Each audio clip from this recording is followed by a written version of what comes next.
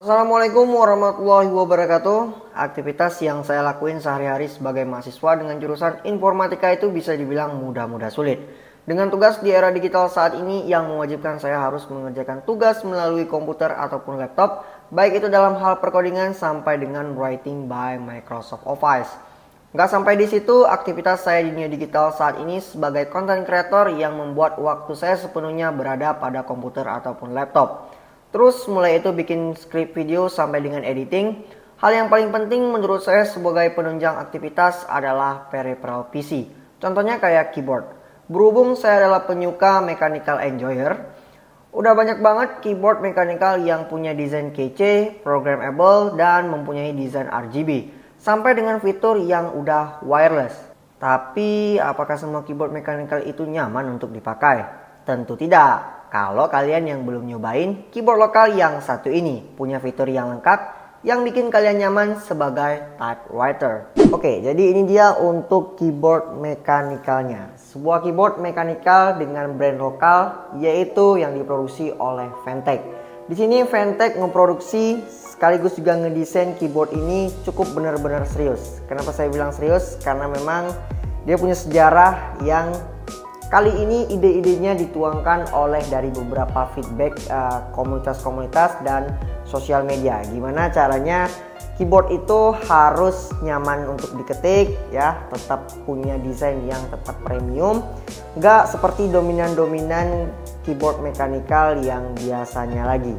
Apalagi saat ini sangat booming banget ya, trendy banget sebuah keyboard yang udah pakai knob seperti ini. Tapi yang kali ini cukup berbeda banget, cukup nyaman banget.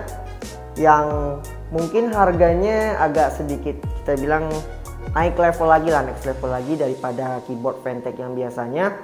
Kalau kalian tahu sih Ventec biasanya itu ngeluarin eh, budget yang friendly, tapi ini masih tetap eh, budget yang friendly kok karena memang dari harganya yang udah mencapai di atas satu jutaan sekitar awal rilis itu kemarin uh, sekitar 14 tapi ini udah 12 atau 13 gitu yang bisa kalian dapetin di e-commerce. Nanti linknya akan saya sediakan di deskripsi video ini oke? Okay? dan di video ini kita akan lanjutkan apa aja yang akan saya bahas pengetahuan saya tentang MaxFit 67 mechanical keyboard ini. Let's go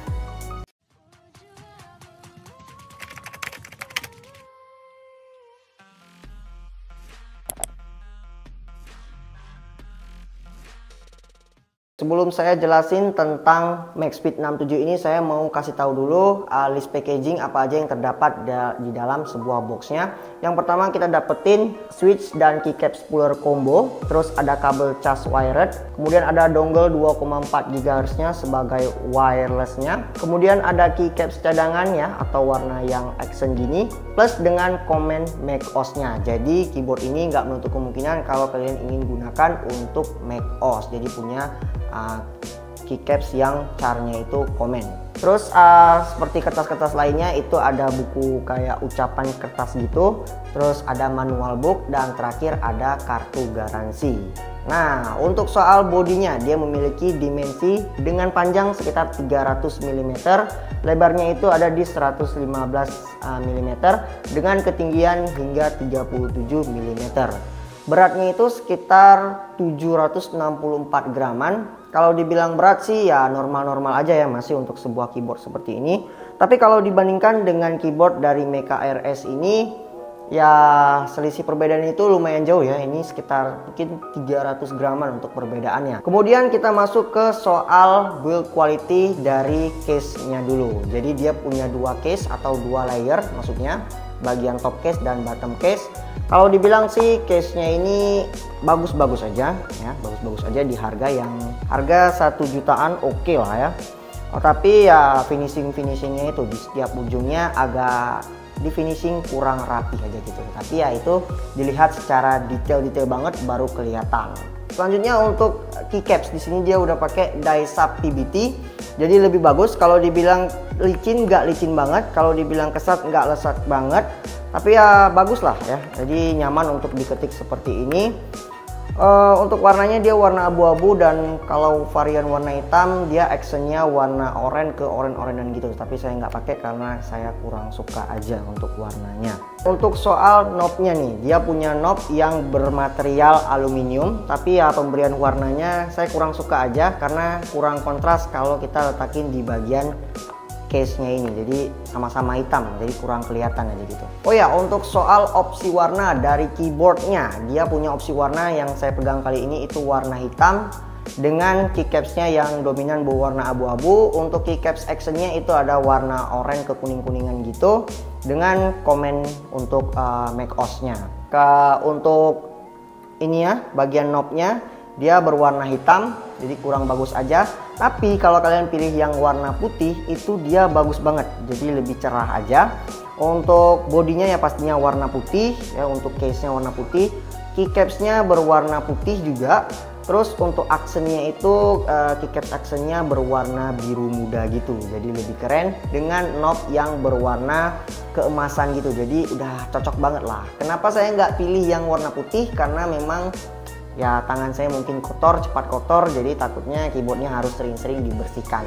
Jadi saya lebih pilih opsi berwarna hitam. Untuk warna hitam jadinya lebih elegan aja sih sebenarnya. Untuk soal layout nih dia udah explode 65% untuk form factornya yang artinya di sini dia punya layout yang agak terpisah untuk bagian arrow-nya. Arrow-nya itu bagian ini ya. Dan soal knobnya itu terpisah juga terus ada tombol delete ada backup dan backdownnya itu dia secara terpisah. Jadi kalau kalian yang sering gunain atau fungsikan tombol arrow ini ya jadinya nggak terlalu rapat banget kayak sebuah Mecha RS ini.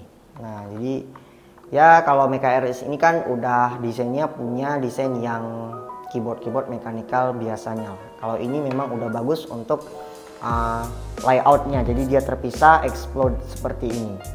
Kita masuk soal switch yang dipakai dari uh, MaxFit 67 ini. Nah, jadi untuk opsi switchnya dia ada Gatron Cap ya, Gatron Cap yang milky yellow, dia karakteristiknya linear. Kemudian ada juga yang Kale Box White itu dia clicky, jadi mungkin kayak turunan kayak kalau kalian tahu mungkin uh, Blue Switch ya itu sama-sama clicky, cuman ini yang lebih bagusnya. Kalau menurut saya sih untuk tipe feel yang lebih nyaman untuk typing uh, itu lebih nyaman untuk yang pakai Gatron Cap Milky Yellow ini. Karena ya ini yang saya pakai.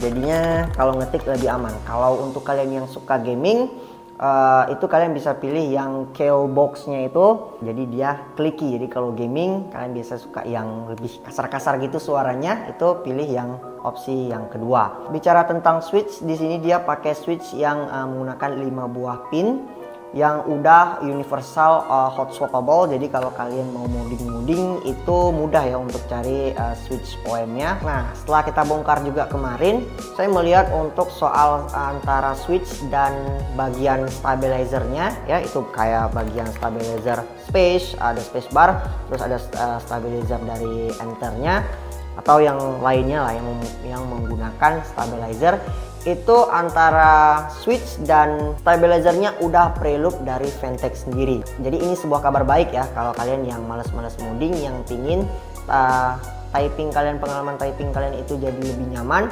Ventec udah preloopkan MaxSpeed 67 ini antara switch dan uh, stabilizernya. Jadi stabilizernya itu di sini ya dapat meredus lah retail dari sebuah stabilizer.